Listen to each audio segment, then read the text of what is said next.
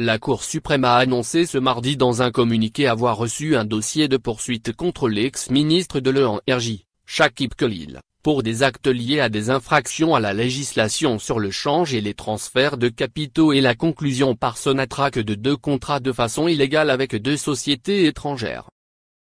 La plus haute juridiction du pays a reçu le dossier en vertu de l'article 573 du Code des procédures pénales, qui stipule que lorsqu'un ministre est susceptible d'être inculpé d'un crime ou d'un délit commis dans l'exercice ou par l'exercice de ses fonctions, le procureur de la République saisi de l'affaire, transmet le dossier, par voie hiérarchique, au procureur général près la Cour suprême qui désigne un membre de la Cour suprême aux fins de procéder à une information. Le magistrat de la Cour suprême doit désormais procéder à une instruction qui devrait aboutir soit à un non-lieu, soit dans le cas d'un délit au renvoi de l'inculpé devant la juridiction compétente.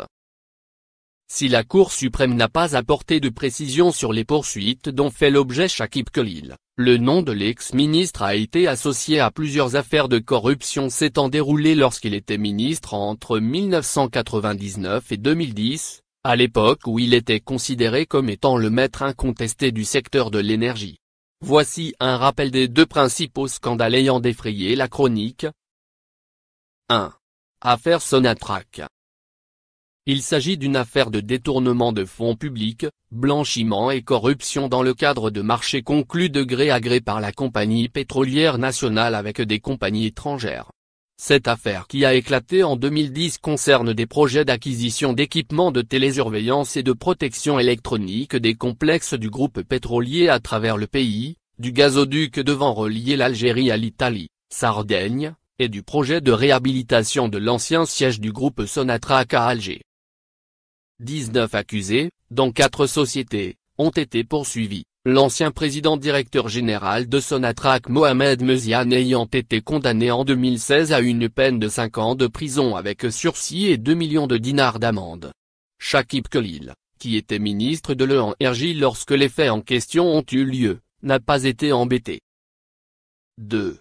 Affaire CPM Cette affaire concerne le paiement de près de 200 millions d'euros de pots de vin par la CPM, filiale du géant italienne Eni, pour l'obtention de contrats auprès de la Sonatrach d'un montant de 8 milliards d'euros entre 2007 et 2010, soit durant le règne de Shakib Khalil.